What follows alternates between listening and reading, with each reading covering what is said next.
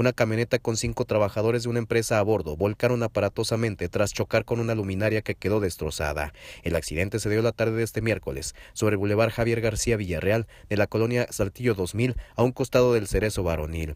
El conductor, quien fue identificado como Saúl Mendoza, se desplazaba de norte a sur, pero a alta velocidad, a bordo de una camioneta de la marca Nissan color blanca. Según indicó, otro vehículo le cerró el paso, por lo que fue a subirse al camellón central y estrellarse contra el arbotante, que provocó la caída hacia el otro costado. Paramédicos de bomberos acudieron para brindar los primeros auxilios a los trabajadores, sin resultar lesionados. Elementos de tránsito abanderaron el accidente, que se congestionó en ambos sentidos de la circulación. Para RCG informó Alejandro Martínez.